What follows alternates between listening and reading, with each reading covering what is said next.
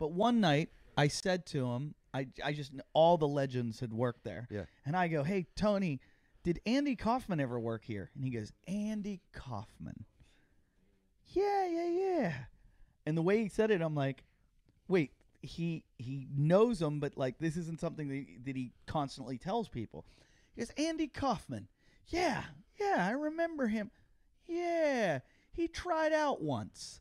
And I go, really? And he goes, yeah, yeah. We had heard about him around town. They were talking about this really good comedian, Andy Kaufman.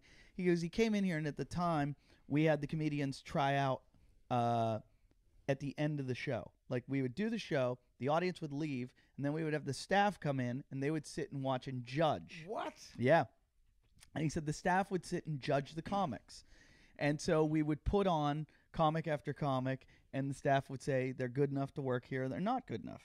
And he goes, So it was Andy's turn. And he goes, The comedian brought him up on stage, and he goes, He uh, came up on stage and he started putting together a drum kit. Like he just started bringing it from the van piece by piece and building it on stage. He goes, You know, that takes a while. and so we're all like, How long is it going to take to see this show? He goes, So then he builds the entire drum kit. He goes, And then he leaves and goes downstairs. And we're like, Where the fuck's this guy going now? And they said, The comics are like, Oh, he's going to put on his outfit. So he puts on this outfit. I don't know if it was his Elvis outfit or what it was, but he goes, he puts on the outfit. He comes back upstairs, and uh, he takes a bow, and he goes, and then he goes back downstairs, puts his street clothes on, comes back upstairs. We're all waiting, going, you know, where's the joke? What's he doing? He goes, and he starts breaking down the drum kit piece by piece by piece, and we're all kind of waiting, and there's this silence in the room, like we're waiting for this big laugh. He goes, and then he gets in the van and drives away, and he goes, never saw that guy again. Uh, there was one time at the improv here, he did an evening with Andy Kaufman. And uh, he specifically, the story I heard was that he specifically told Bud, absolutely no refunds can be given. Not a single, you must not give any refunds to anybody.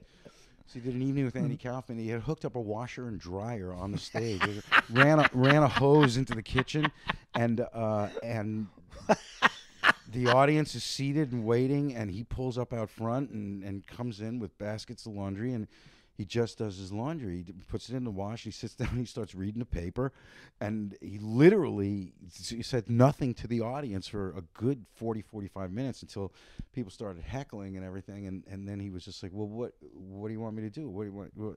And then he would start like reading stuff from the paper and go, "This is kind of an interesting story," and and uh, and you know it became a, a real like the crowd was really angry, and um, and he did the whole thing and he did the drying and he folded everything.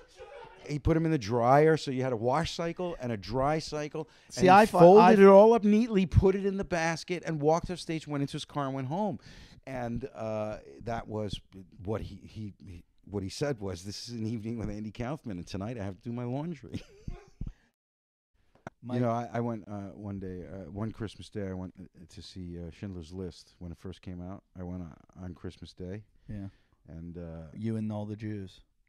yeah, so in the lobby, I just went real loud for everybody here. I just went, "Wow, that was incredible! What an amazing movie! Jesus, could you imagine if any of that stuff really happened?"